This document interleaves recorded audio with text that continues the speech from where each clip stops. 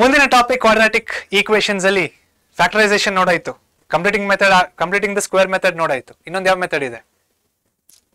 Formula method so formula method ಅಂದ್ರೆ ಏನು? ನೋಡಿ, ಯಾವಾಗ ಯೂಸ್ ಮಾಡ್ಬೇಕು ಫಾರ್ಮುಲಾ ಮೆಥಡ್ ಅಂತ ಹೇಳ್ತೀನಿ ಮೊದಲನೇದಾಗಿ.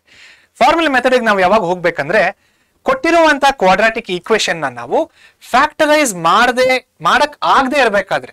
ಮಾಡಕ್ಕಾದ್ರೆ ಫ್ಯಾಕ್ಟರೈಸ್ ಮಾಡಿ. ಅದೇ ಸಿಂಪಲ್ ಆಯ್ತಾ? ನೋಡಿ, ಮೂರು ಮೆಥಡ್ ಅಲ್ಲಿ ನಿಮ್ಗೆ ಏನು ಕೊಟ್ಟಿಲ್ಲ ಜಸ್ಟ್ ಜಸ್ಟ್ ರೂಟ್ಸ್ನ ಕಂಡಿರಿ ಅಂತ ಹೇಳಿದ್ರೆ always go for factorisation method ಆಯ್ತಾ? ಅದೇ ಬೆಸ್ಟ್ ಮೆಥಡ್ ಅಂದ್ರೆ ಅದಕ್ಕೆ ಟೈಮ್ ಕಡಿಮೆ ಆಗುತ್ತೆ ಆನ್ಸರ್ ಕೂಡ ಕರೆಕ್ಟ್ ಆಗಿರುತ್ತೆ. ಟೈಮ್ ಕಡಿಮೆ, ಇದೇ ತುಂಬಾ ಇಂಪಾರ್ಟೆಂಟ್ ಫ್ಯಾಕ್ಟರೈಸೇಷನ್ ಮಾಡಿ ರೂಟ್ಸ್ನ ಕಂಡುಹಿಡಿಯೋದಕ್ಕೆ ಟೈಮು ಕಡಿಮೆ ತಗೊಳ್ಳುತ್ತೆ ಕಂಪ್ಲೀಟಿಂಗ್ ಸ್ಕ್ವೇರ್ ಮೆಥಡ್ ಸ್ವಲ್ಪ ಜಾಸ್ತಿ ತಗೊಳ್ಳುತ್ತೆ ಫಾರ್ಮುಲಾ ಮೆಥಡ್ ಇನ್ನ ಸ್ವಲ್ಪ ಜಾಸ್ತಿ ತಗೊಳ್ಳುತ್ತೆ ಆದ್ರೆ ಏನ್ ಕಾಮನ್ ಈ ಮೂರು ಮೆಥಡ್ ಅಲ್ಲಿ ಅಂದ್ರೆ ಆನ್ಸರ್ ಮಾತ್ರ ಹಂಡ್ರೆಡ್ ಪರ್ಸೆಂಟ್ ಸೇಮ್ ಯಾವುದೇ ಮೆಥಡ್ ಯೂಸ್ ಮಾಡಿದ್ರು ಸೇಮ್ ಆನ್ಸರ್ ಬರುತ್ತೆ.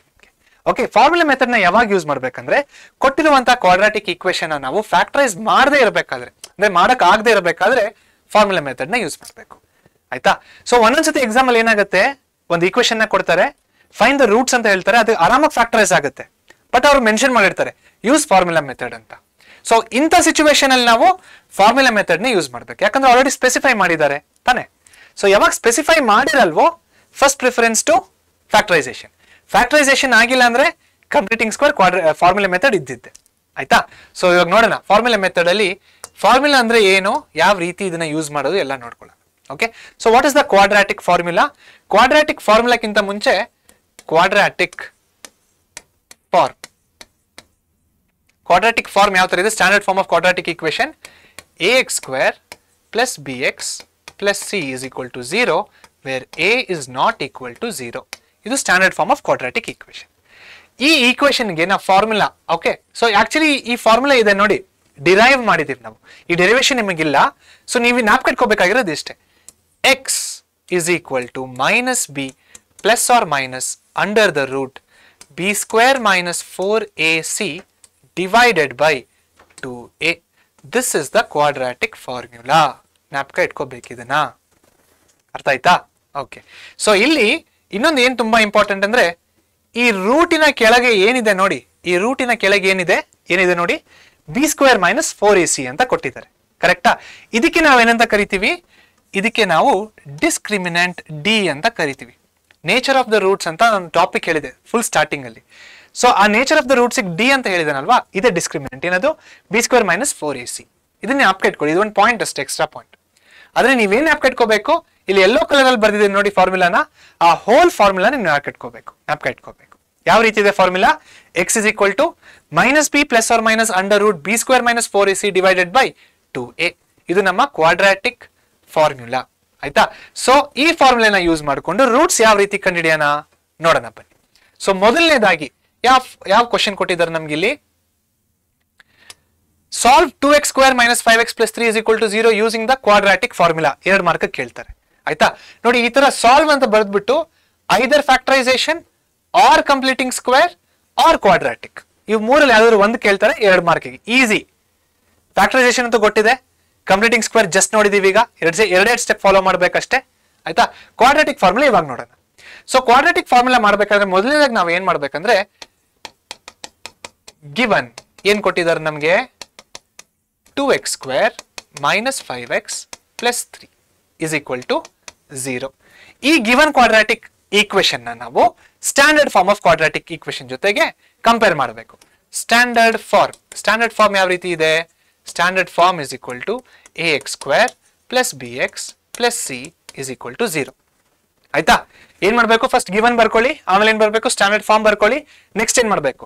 By comparing by comparison by comparison we get ಅಂದ್ರೆ ನಮ್ಗೆ ಏನ್ ಸಿಗುತ್ತೆ we get a is equal to two b is equal to minus five c is equal to three ಬಂತ A B C values ಅಷ್ಟೇ next ಏನು formula formula ಅಂತ ಕೊಟ್ಟಿದ್ದಾರಲ್ವಾ formula ಬರೀರಿ formula. What is the formula?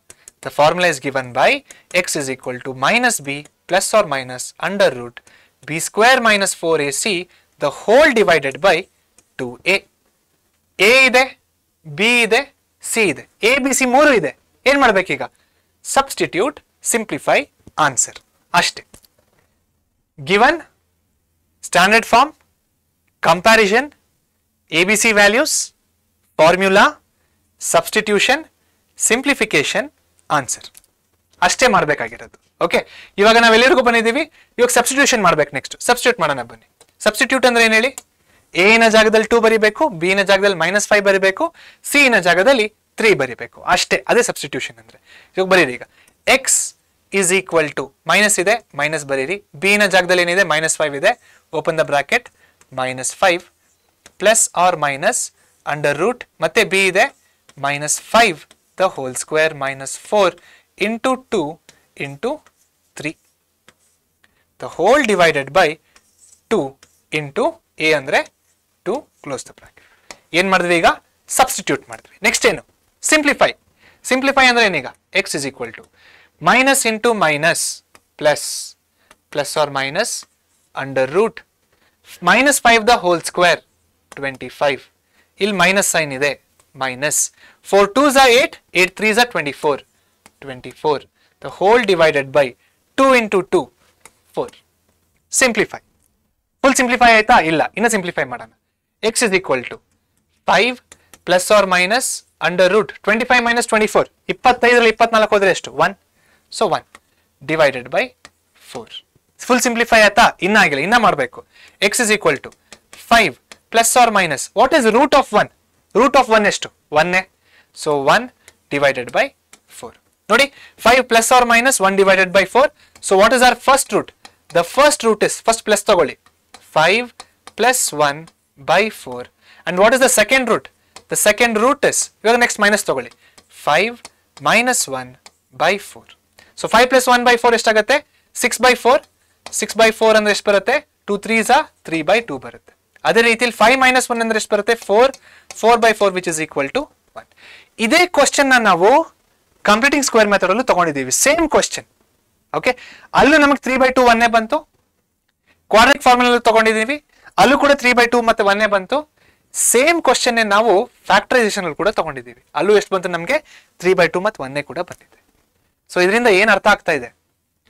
ಯಾವುದೇ quadratic equation ಕೊಟ್ಟಿರಲಿ, ನೀವು ಯಾವುದೇ ಮೆಥಡ್ನ use ಮಾಡಿ ಆನ್ಸರ್ ಒಂದೇ ರೀತಿಯಲ್ಲಿ ಬರುತ್ತೆ. ಆದ್ರೆ ಸ್ಪೆಸಿಫೈ ಮಾಡಿದಾಗ ಸ್ಪೆಸಿಫಿಕ್ ಮೆಥಡ್ನ ಯೂಸ್ ಮಾಡಬೇಕು. ಇವಾಗ ಸಾಲ್ವ್ ಬೈ ಫ್ಯಾಕ್ಟರೈಸೇಷನ್ ಅಂತ ಬರೆದ್ಬಿಟ್ಟು ನೀವು ಫಾರ್ಮುಲಾ ಮೆಥಡ್ ಅಲ್ಲಿ ಸಾಲ್ವ್ ಮಾಡಿದ್ರೆ ಝೀರೋ ಮಾರ್ಕ್ಸ್ ಜ್ಞಾಪಕ ಇಟ್ಕೊಳ್ಳಿ ಸಾಲ್ವ್ ಬೈ ಫಾರ್ಮುಲಾ ಮೆಥಡ್ ಅಂತ ಹೇಳಿ ನೀವು ಫ್ಯಾಕ್ಟರೈಸೇಷನ್ ಅಲ್ಲಿ ಮಾಡಿದ್ರು ಝೀರೋ ಮಾರ್ಕ್ಸ್ ಸೊ ಇಲ್ಲಿ ಯಾವ ಮೆಥಡ್ ಕೊಟ್ಟಿದ್ರೋ ಆ ಮೆಥಡ್ ನೇ ಯೂಸ್ ಮಾಡಿ. ಆನ್ಸರ್ ಒಂದೇ ಬರುತ್ತೆ, ಯಾವುದೇ ಮೆಥಡ್ ಯೂಸ್ ಮಾಡಿದ್ರು ಅರ್ಥ ಆಯ್ತಾ? ಕ್ವಾಡ್ರಾಟಿಕ್ ಫಾರ್ಮುಲಾ ಯಾವ ರೀತಿ ಯೂಸ್ ಮಾಡಬೇಕು ಅಂತ? ಓಕೆ ಸೊ ಇಲ್ಲಿಗೆ ಈ ಟಾಪಿಕ್ನ ಅಂತ್ಯ, ಮತ್ತೆ ಮುಂದಿನ ಟಾಪಿಕಲ್ಲಿ ಸಿಗ್ತೀನಿ. ಅಲ್ಲಿವರೆಗೂ take care and subscribe to our YouTube channel thank you so much